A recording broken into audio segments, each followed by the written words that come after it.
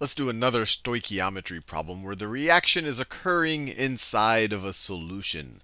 So we have a metallic zinc and it reacts with aqueous hydrochloric acid. We see that right there, the metallic zinc. And then the hydrochloric acid, it is, it is dissolved in water. It's an aqueous solution. The solvent is water. Makes these products right there. And they say what volume of 2.5 molar, so they're giving us the concentration of the solution.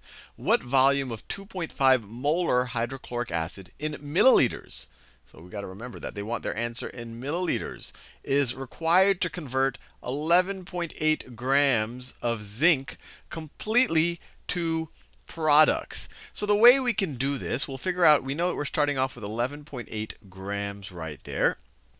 And we just have to figure out, well, if we have 11.8 grams of zinc, how many moles of zinc that is. And then, assuming this is a balanced equation, and I'm going to verify that right after I finish this sentence, but assuming that this is a balanced equation, for every mole of zinc, we're going to need 2 moles of hydrochloric acid. And then we can figure out, well, given how many moles of hydrochloric acid we need, then how many of the solution do we need based on its concentration? So let's do that. It's going to, I think, be a lot simpler when we actually do it. But I just want to kind of give you the action plan before we break into it. But before we do anything, let's verify that this is really a balanced equation. So you have one zinc on the left-hand side, one zinc on the right-hand side, two hydrogens on the left, two hydrogens on the right, two chlorines on the left, two chlorines on the right. So it looks balanced. Let's do the problem. So the first thing we want to do, we're starting off with 11.8. Let me do this. We're starting off with 11.8 grams of zinc. Uh, grams of zinc, they give us that information. Now we're going to figure out how many moles of zinc that is. So times, we're going to want to convert this to moles. So it's going to be moles of zinc over grams of zinc, moles per gram. And if you look it up on a periodic table, zinc has an atomic weight of 65.38. So its molar mass is 65.38. So it's 1 mole for every 65.38 grams, or it's 1 65th roughly of a mole per gram. And this gives us, this gives, actually, you know what, I'm just going to keep all the math. I'm going to save our calculator for the end. So this, the grams of zinc cancels out with the grams of zinc, and we're left with 11.8, 11.8 divided by 65.38 moles of zinc. Moles of zinc.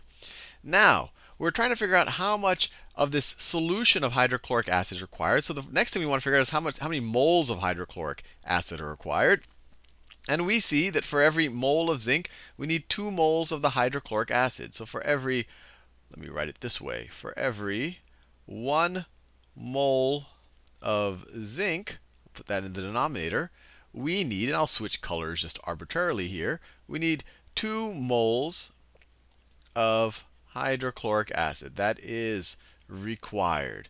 And so then we can multiply the moles of zinc the moles of zinc will cancel out the moles of zinc. That's why I wrote 2 over 1 instead of 1 over 2. 2 moles of hydrochloric acid for every mole of zinc. And what does this give us? This gives us, and I'm not even going to do the math, it's 11.8 times 2.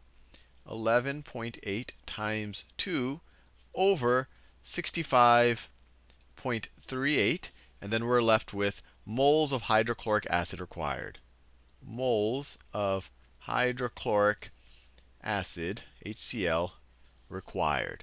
So we haven't solved the problem yet. We want to figure out how much, how many, how many, what volume of the solution we need. We know the actual number of molecules we need, but we need to know how many, how much solution will contain that number of molecules. So we want to express this in liters. Well, eventually we're going to get to milliliters, but let's just go straight to liters first, because molarity is always expressed in liters. So let's multiply this. We want we want the moles of HCl to cancel out. So let's put that in the denominator. Moles of hydrochloric acid. And, we, and we want liters of hydrochloric acid. Liters, let me put it this way, liters of 2.50 molar hydrochloric acid solution. When anyone puts this big M there, that's molarity, you assume they're talking about a solution because they're giving you the concentration of the solute in the total solution. So how many moles are there per liter? Well, this concentration is telling us molarity is moles per liter. So there are 2.50 moles for every one liter of our solution. That's what that tells us. This is a 2.5 molar solution. Its molarity is 2.5. There are 2.5 moles for every liter. And I wrote the moles in the denominator because I wanted to cancel out here. So it's 1 over 2.5. So let's cancel those two guys out. That cancels out with that right there. And then we are left with we are left with 11.8 times 2 in the numerator.